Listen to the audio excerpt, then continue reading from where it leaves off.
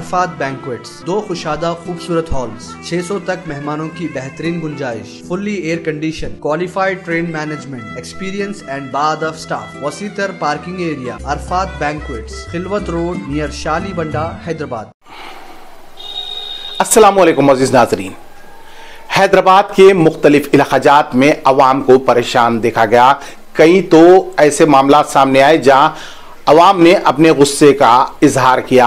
हैदराबाद के कई पेट्रोल पंपों पर पेट्रोल की किल्लत देखी जा रही है, जहाँ पेट्रोल है, वहाँ पे आवाम की जार खतार देखी जा रही है।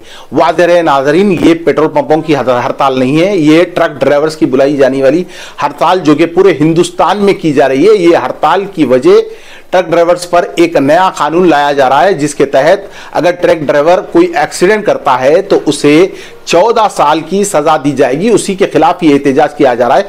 मगर इससे आम आवाम परेशान हो रही है। किसी को ऑफ़िस जाने के लिए देरी हो रही है तो कोई अपने काम पर नहीं जा सक रहा है। तो अगर किसी को अपनी ज़रूरियत ज़िंदगी के तहत पेट्रोल दला के अपनी गाड़ी चलाना है तो उसमें भी दुश्वारी हो रही है। और ख़ास तौर पर औसत तबका इससे परेशान है, क्योंकि अमीर लोग तो कैसा भी अपने गाड़ियों के टैंकियों को फुल रखते हैं, मगर गरीब रोज पेट्रोल डलाता है तो ऐसे लोग जो है बहुत ज़्यादा परेशान हैं।